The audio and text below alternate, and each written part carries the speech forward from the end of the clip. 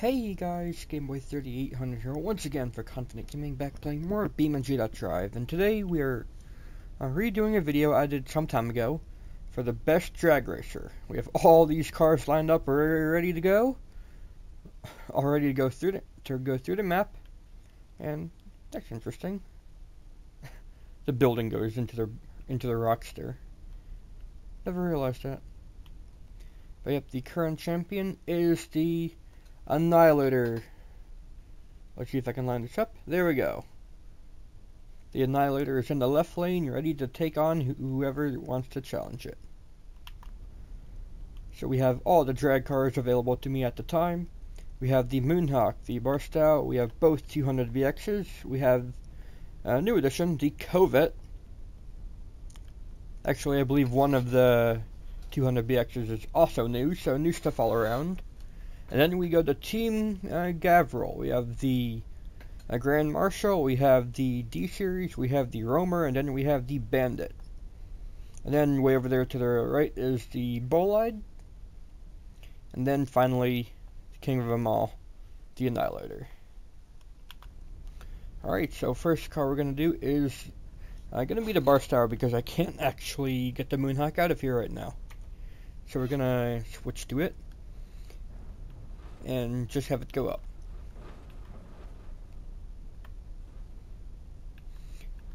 Now the FPS flag is from all the cars being uh, in the game right now. Even my powerful computer can't handle it, so I don't think yours could either. Don't say it could. I don't believe you if you say it does. Uh, first thing I'm going to do is disable AI control, or just get rid of the thing altogether.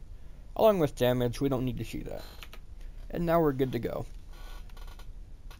Now we are using the stock versions of the of mostly all the vehicles, like the stock version of the Moonhawk, the Barstow, the uh, Bolide, the 200 BXs, the Covet, and the Grand Marshal. The only things that are not stock are the D-Series and Roamer, because by default they come with only a 4.5 liter V8 and no supercharger or anything like that. So I gave them a 5.5 liter V8 with a stage 3 supercharger, so that it'll be more interesting and more fair for all the vehicles. So we're going to begin with the Barstow in 3, 2, 1. Get those front wheels way in the air there. Now we are going to top out here. There's not too much I can really do, I don't think. Like 165, 167, about 170 was going up before. I can show you that even with uh, the extra uh, differential speed here with a open uh, rear diff here, a 2.64, which is way uh, lower geared.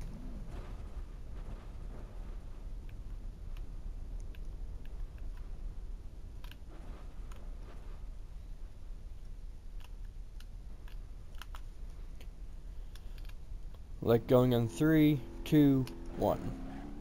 It's still going to have about the same top speed.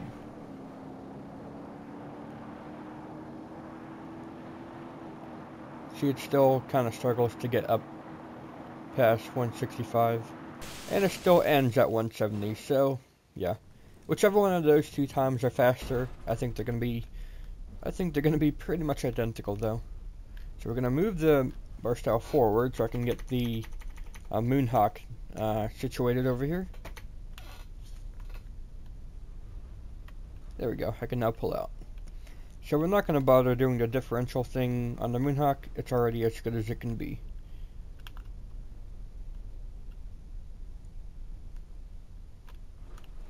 So I expect the Barstow and Moonhawk to have extremely similar times, for obvious reasons. They're basically the same. Gonna go in three, two, one. I am noticing that the Moonhawk has a lot more boost at the beginning. Over 100 versus about 90 for the Barstow. And actually, the Moonhawk's faster than I thought it would be. The Barstow only ever got up to 170 at the end. This got up to over 180. So I think this will be the winner for here. Oh, and I put a trailer hitch on all rear-wheel drive vehicles that did not have uh, a wheelie bar. So the Barstow, Moonhawk, and Annihilator all have wheelie bars, so they did not need one. But everything else, they have a trailer hitch to act as a, as a tiny wheelie bar to help keep these vehicles under control.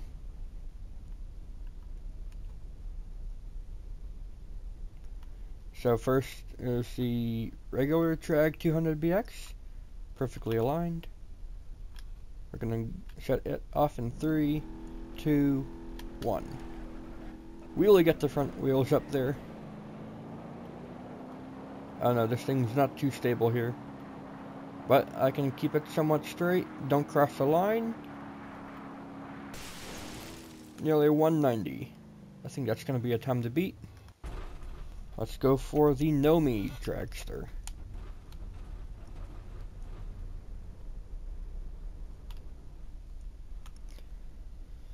Now this vehicle is interesting because it's got far, far too much power for this size vehicle. Just watch.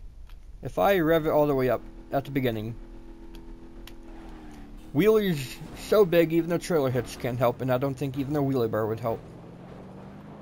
Once we're finally on the ground, we wasted so much time accelerating. It's not going to be as fast as it could be. 230 at the end, though. You think, what? It can be faster? And the answer is yes. If I don't rev it up all the way and let it uh, stay calm at the beginning, I believe it can be faster. Perfectly aligned. So I'm going to rev it up just a tiny bit and see if I can't calm that front end down. So we're going to go in three, two, one. I take it back. This is even more out of, out of control. No! Oh no, the wheel grabbed the thing. Okay, let's try it with no rev up at all. Because I give it like a half second rev up a time there. Apparently that's still too much. There we go. Gonna go in three, two, one. Still gets up in the air. Oh no. Well. Alright. Let's give it one final chance. If I still can't control it, even with the wheels on the ground, then it's going to have to go to the 230 speed thing that it had before. So we're going to go in three, two, one. No! Fine, I'll point it to, like more to the right. It's not supposed to be like that, but I mean this car, you got no choice, don't you?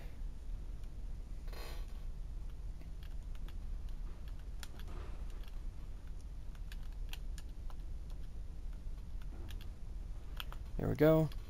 Gonna go in three, two, one.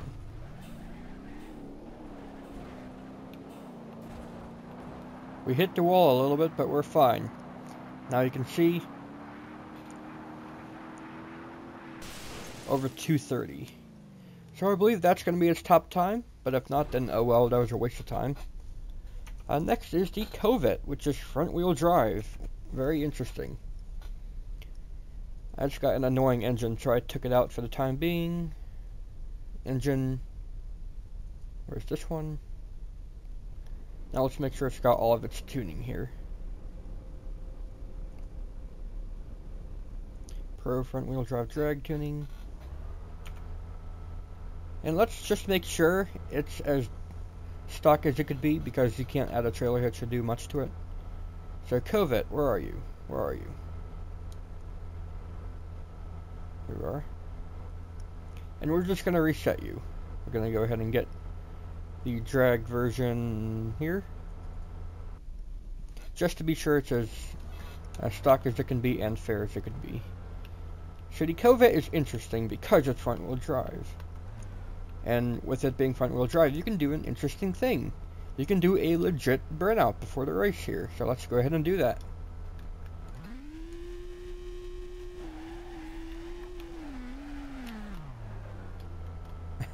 I think that's cool. I think Beam should have a legit uh, drag racing like level or scenario of some sort. So we're gonna go with the Covet in three, two, one. A lot of wheel spin. Had to be super gentle on the control. But you can see it really gets up there. Over 200 miles an hour at the end. 215 just about. I think that's going to be a pretty good time. I wonder if I can get that better without doing the wheel spin at the beginning. Let's give it a shot. Just for the hell, hell of it, you know?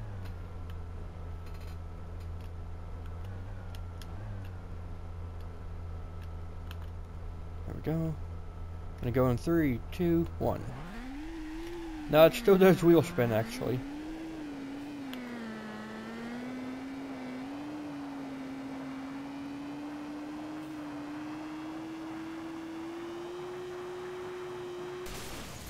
That was actually faster at the end though.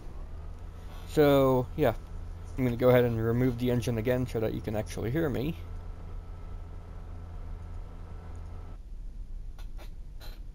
There we go. Next up is the Grand Marshal.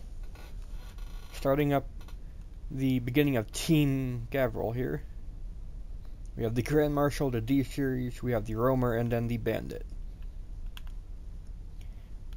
So this has actually got the biggest engine. Okay, bigger st biggest standard engine so far. It's got a 7 liter V8.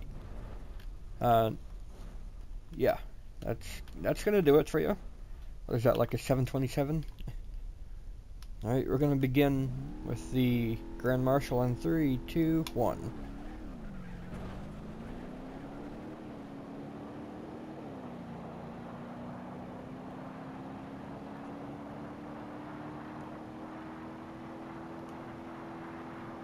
190 at the end.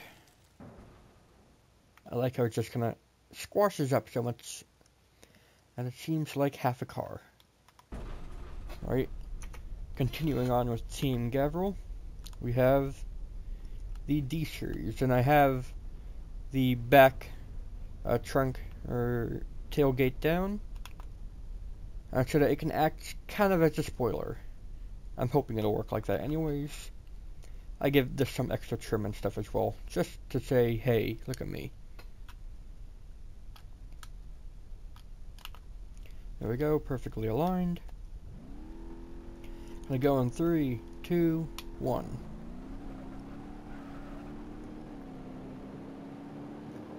Some wheel spin, but not enough to be uncontrollable.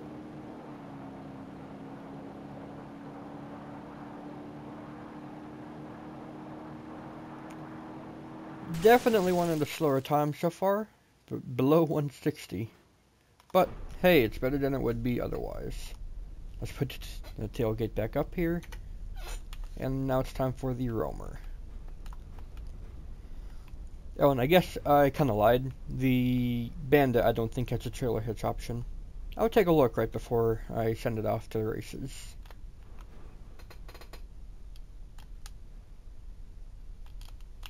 There we go, perfectly aligned.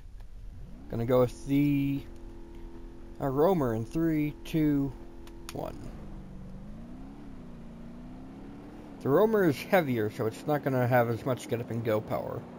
This, I suspect, will have one of the slowest times.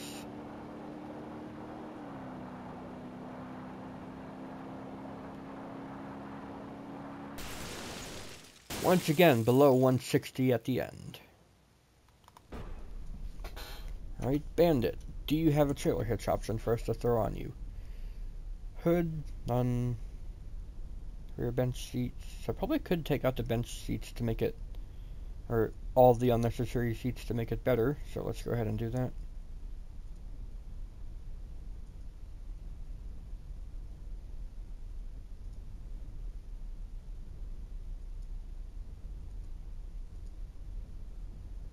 What? I can have a wing on this? Rear GT wing. That's actually not half bad looking. What about the sport wing? Hey, that's more like a dragster lip. Yeah, I like the GT wing, wing better. And no, I don't see a trailer hitch option for this. Would it be on rear bumper? No, if it's not on rear bumper, I don't know what it would be on, so... Uh, yeah we customized it a little bit. but that shouldn't affect its overall top speed or time. Maybe just help keep it slightly more controllable. And the Bandit has a habit of snapping its drive shaft, so hopefully that doesn't happen here. We're going to go with the Bandit in three, two, one. Alright, no drive shaft snapping. That's good.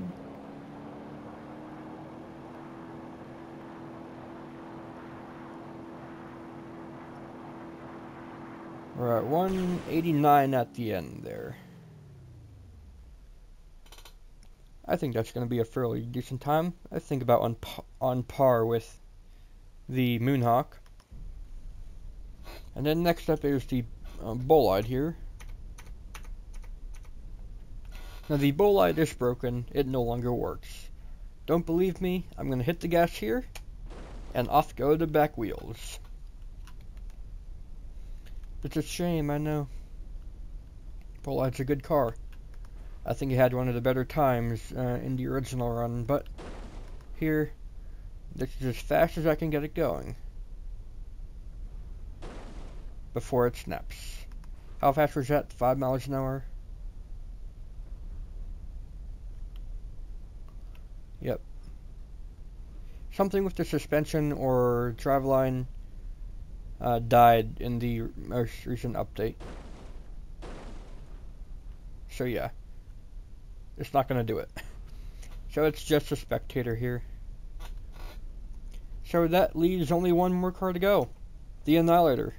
It's already lined up and ready to go. I think it's still going to be the top dog, but let's find out. The Annihilator going in three, two, one, go. Now the speedometer is highly inaccurate because right now we're going about 300 miles an hour. And there we go. The Annihilator, I believe, is still the champion, but who knows? Maybe the uh, Nomi 200BX is the new king. I don't know. I don't see the time right now. You can see the leaderboard right now. And hey, if you predicted right, if you would be the winner? Or I guess the more challenging bit would be guess the third placer, because you can guess the first or second pretty easily. Or you could guess the last placer pretty easily. But the third placer, you never know who that's going to be. I don't know what I'm talking about there. But anyways, if you enjoyed more drag racing and BeamNG.drive, then please go ahead leave a like, favorite, comment, share, and of course subscribe. And look at those exhaust pipes. They're, they're twisted and mangled in a way they I'm not sure they should be. So yeah. That was it. Thanks, Gambriel. I will see you in the future.